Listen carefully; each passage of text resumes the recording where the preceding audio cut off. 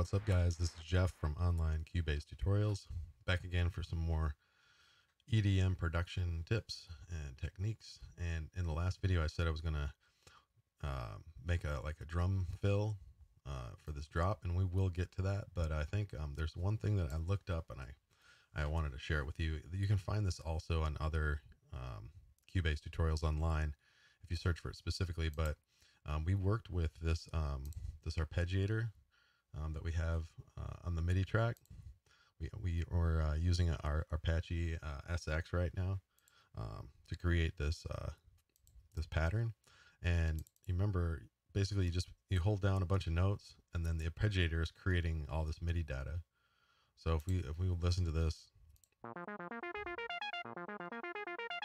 okay, so it's obviously it's playing more notes than just these three that you see here. And um, I wanted to show you a function. Um, if you want to generate the MIDI that the arpeggiator is playing, you can hold the control key down and right click and you come down to MIDI, merge MIDI and loop and include inserts. And that'll include the inserts that's generating MIDI. And if you say okay, you're like, hey, look at what happened here. So you can open up this part now and you see here's all the MIDI data that got created from that. So you can see um, if you want to be able to edit. Now this part is like generated. It's sitting on top of this um, this one. So you don't you wouldn't want to actually put the arpeggiator on the arpeggiator itself. So it's kind of one of those things where if you want to render your MIDI parts, then you'd need to put this on another track. If I if I do a duplicate track, and then select all events and delete and then remove the inserts on the second one. There so now you can see basically this will do the exact same thing. So in this version here on this track it's going to generate the MIDI data with the arpeggi the arpeggiator. And on this track it'll generate the MIDI that's burned into this track, burned into this uh, kind of like rendered basically. So that's how you convert arpeggiator to MIDI data. And now you can, you know, send this MIDI data to another track. You can edit it.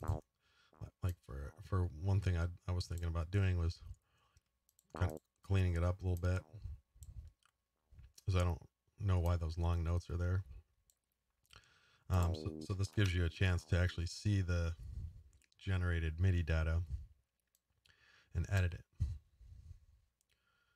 So you can, you know, use that creatively. And so as another example, um, you know, we could come in here on this track and, and choose a different, a different, uh, arpeggiator, like the down one.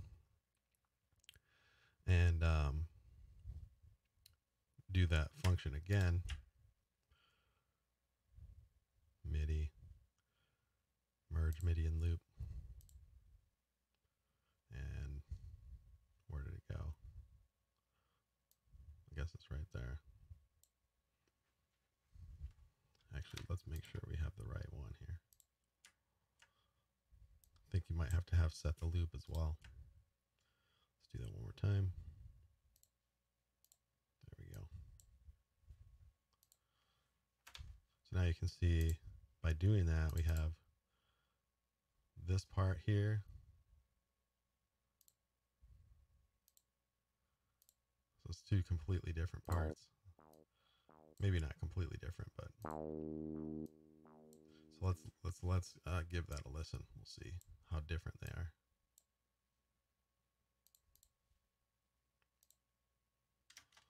Well, all right. Heard no sound. I guess we have to chart target the prologue.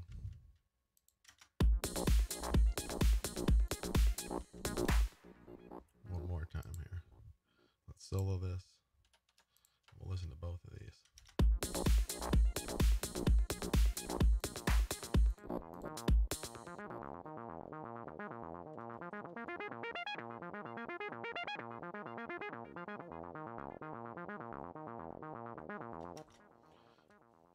I don't know why there's so many notes in here.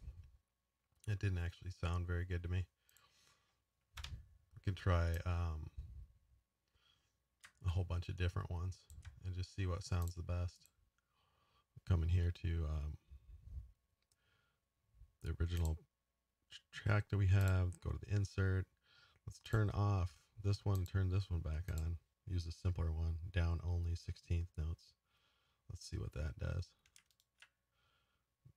MIDI, merge MIDI and loop.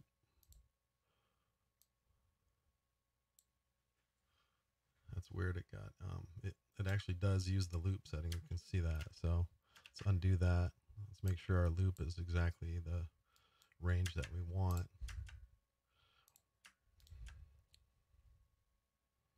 So MIDI, merge, MIDI, and loop, inserts, include inserts, drag this down.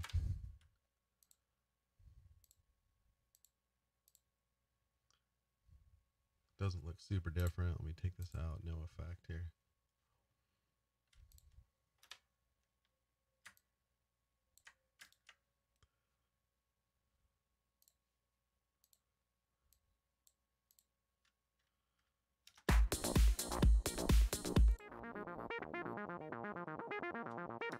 That's pretty cool.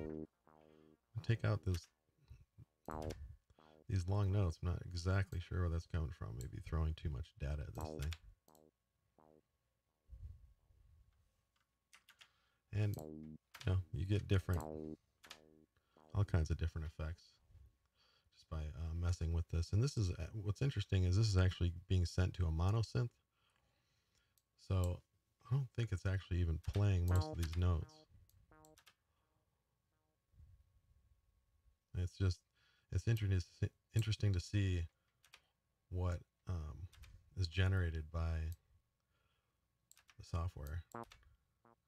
You can um, just do different experiments with it.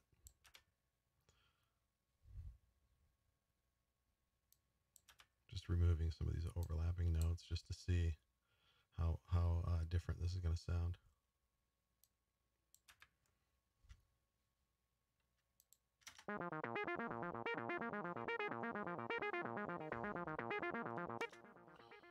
Let's hear that with let's hear that with the rest of the stuff.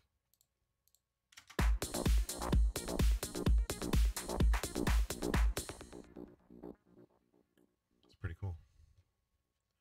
So we can use that to our advantage and alternate. And now that I took off um, just redo this whole this whole track now. And, um, we'll mute. We'll just mute this part. Actually, we'll leave some of these in here. Uh, we'll just mute it. Just do uh, do our normal technique, like select all events and mute. Now we just have this this prologue MIDI part.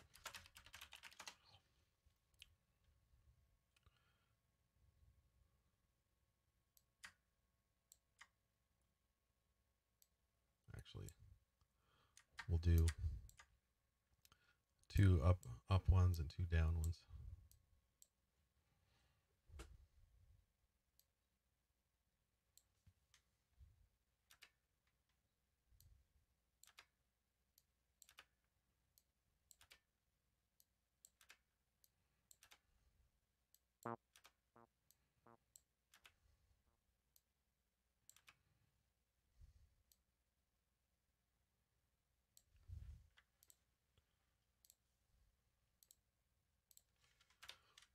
Just cleaning up, just cleaning that up a little bit.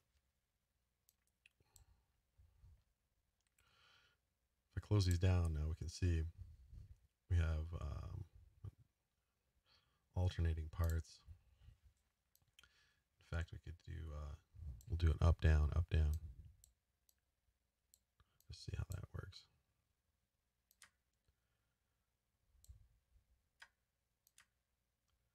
I kind of like it going across the break.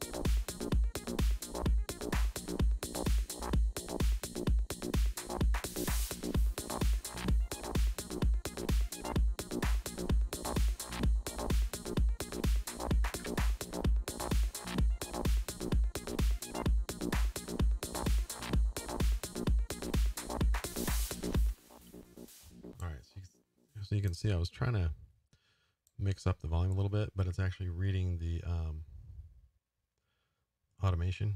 It's reading the automation um, of the volume track here. So I'm just going to crank it up a little bit uh, by dragging these um, automation mix up and down.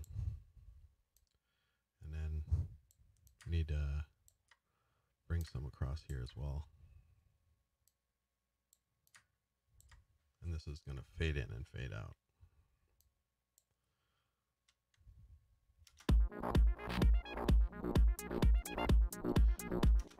One other thing I was thinking would be cool on here is like a kind of an auto pan, like a slow auto pan.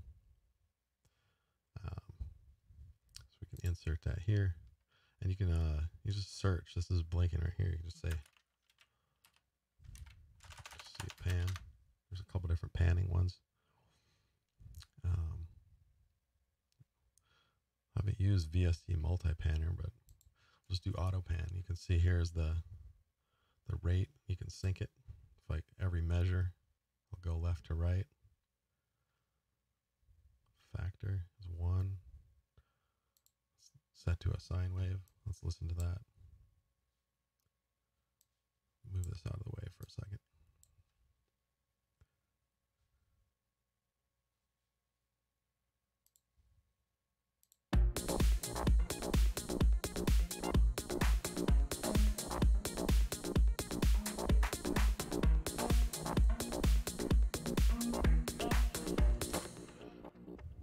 Sounds pretty cool. I was wondering why one out of one is the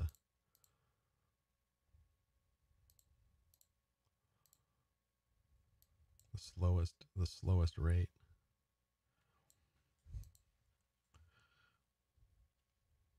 It's a little too fast. I was hoping for something slower.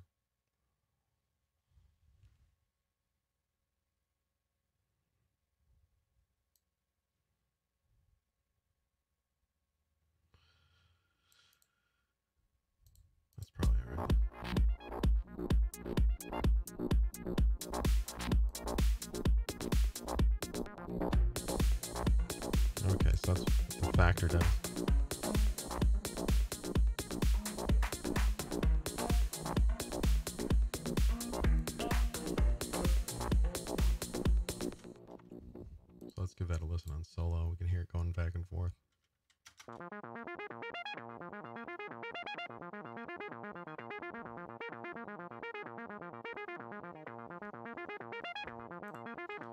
get that moving across the ears.